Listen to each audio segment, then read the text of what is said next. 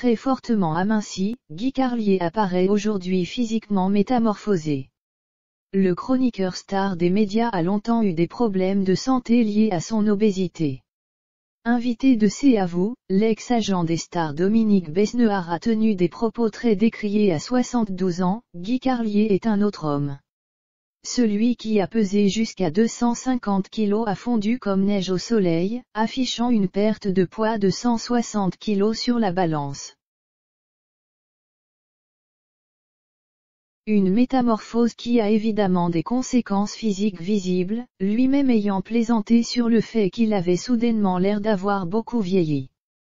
Ce nouveau look a été commenté par Dominique Besnehard l'ex-agent des stars devenu producteur était invité de C'est à vous, le 16 décembre 2021 et il a notamment évoqué en plateau la venue de Guy Carlier la veille, ce dernier faisait la promotion de spectacles éponymes qu'il joue au Théâtre des Mathurins à Paris à partir du 8 janvier 2022.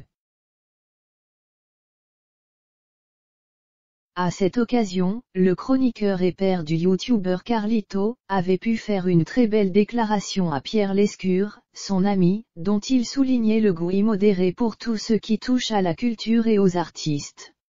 Ému, Pierre en avait eu les larmes aux yeux hier c'était très émouvant quand tu as été filmé au moment de l'hommage de Guy Carlier, tu étais en larmes presque. Par contre Guy Carlier il était mieux gros, excusez-moi, je peux le dire là, il est trop maigre, a ainsi lâché Dominique Besnehard. Malaise en plateau jusqu'à ce que l'animatrice Anne-Elisabeth Lemoine rétorque à son invité. C'était sa santé qui était en jeu Dominique il était en obésité morbide, avec toutes les conséquences possibles du point de vue des maladies, note de la rédaction, lui a-t-elle fait savoir, évitant que le dérapage n'aille plus loin la veille, Guy Carlier avait librement évoqué son incroyable transformation, fruit d'un déclic survenu lorsqu'il avait terminé par terre chez lui, recouvert de pâte et incapable de se relever, déclarant alors.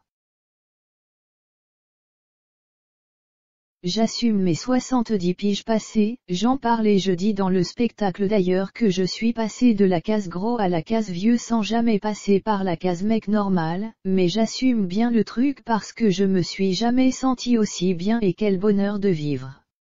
Aujourd'hui, après avoir eu recours à plusieurs opérations, il a notamment des genoux en titane car il n'avait plus de cartilage, il se déplace avec l'aide d'une canne mais a repris goût à la vie.